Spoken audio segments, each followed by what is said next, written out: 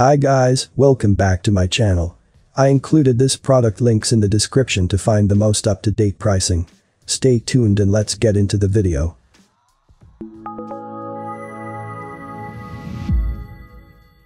Fujinon XF55 to 200 mm f3.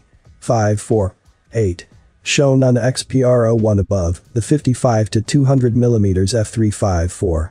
8 is a relatively portable telephoto zoom that offers impressive image quality right across its wide zoom range. Focus is silent and fast, perfectly complementing the best Fuji cameras for discreet shooting. The inbuilt image stabilization of the 55 to 200 mm f354 8 is impressive, allowing the use of slow shutter speeds to prevent camera shake, even when hand-holding in low-light situations.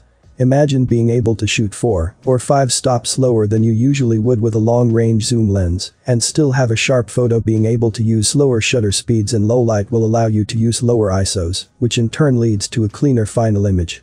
The 55 to 200 mm focal length, when used on a Fuji X mount camera with a 1. 52x crop factor shows the same angle of view as an 80 to 300mm lens on a 35mm camera. My favorite feature of this impressive Fuji zoom lens is its ability to focus as close as 1. 1 meters, which means you can capture high-quality telephoto close-ups, much like a macro lens. I have included this product link in the description. You can check out this link for more information and latest price.